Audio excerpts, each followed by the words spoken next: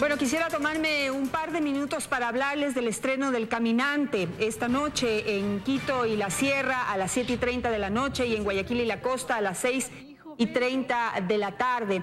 Es una nueva producción eh, nacional en la que hemos juntado lo mejor del talento nacional y también internacional, en donde vamos a hablar de distintas historias cotidianas, historias suyas, mías y de todos quienes diariamente tenemos a nuestro alrededor. Eh, vamos a hablar de violencia intrafamiliar, vamos a hablar de la vejez, vamos a hablar de la juventud, vamos a hablar del divorcio, vamos a hablar de la infidelidad, vamos a hablar del de, eh, éxito, del fracaso, del desempleo, en, fin, de todos aquellos problemas que aquejan diariamente a las familias ecuatorianas y nos podremos ver reflejados en el caminante y en sus historias.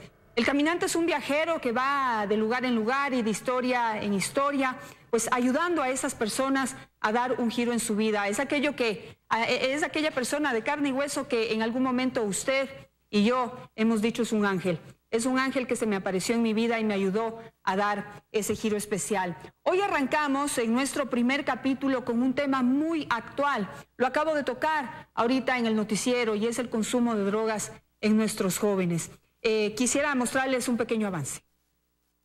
Lunes, en el estreno del Caminante, una historia dura pero real, buscando una luz que nos libere de un amor tóxico. Bueno, mamá, ya supéralo, todos cometemos errores. ¡Dame todo lo que tiene, no escucha! ¿Quién les dijo que yo recibo chatarra? Ay, Jason, por favor, lo que pasa es que ya no tenemos nada más y necesitamos la merca.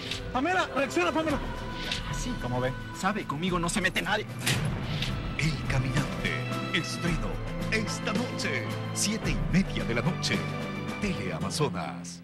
El lunes. Bueno, vamos a hablar de los problemas que definitivamente están ahí, pero quiero que no se pierdan este primer capítulo y el resto porque siempre hay un final esperanzador para todos. Ese es el objetivo del caminante. Así que los esperamos a todos en este estreno y que tengan un buen día.